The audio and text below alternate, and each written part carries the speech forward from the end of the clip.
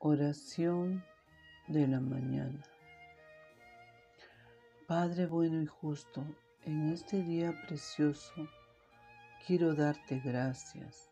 Aunque sé que en la vida no salen las cosas como quisiera, pero lo que comprendo es que es tuya tu decisión y tu voluntad.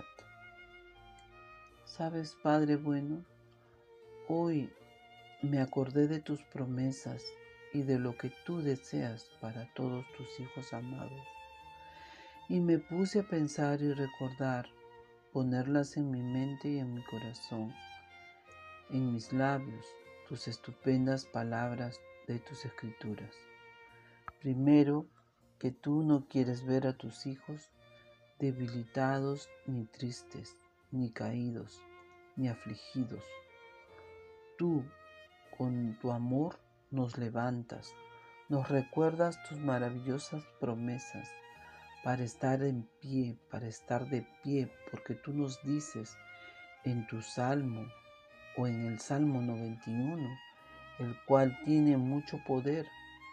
Dices que todo el que vive al amparo del Altísimo morará a la sombra del Omnipotente, y que aunque caigan mil a mi lado y diez mil al otro lado, tú me mantendrás firme, me mantendrás de pie.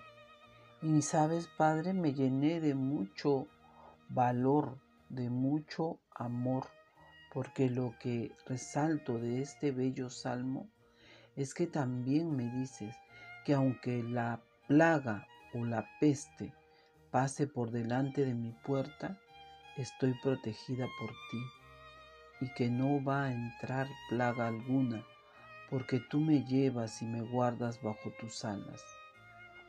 Y yo creo y confío en tu palabra, en tus escrituras y en todas tus promesas.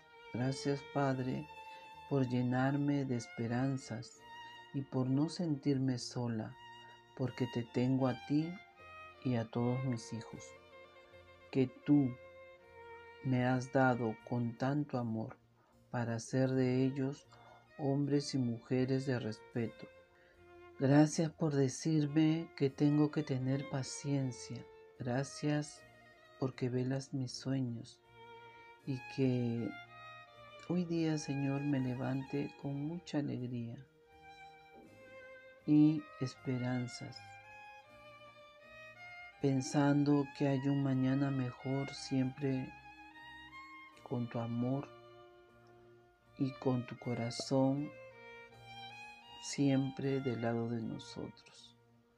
Gracias Señor, todo te lo debo a ti. Gracias Padre, amén.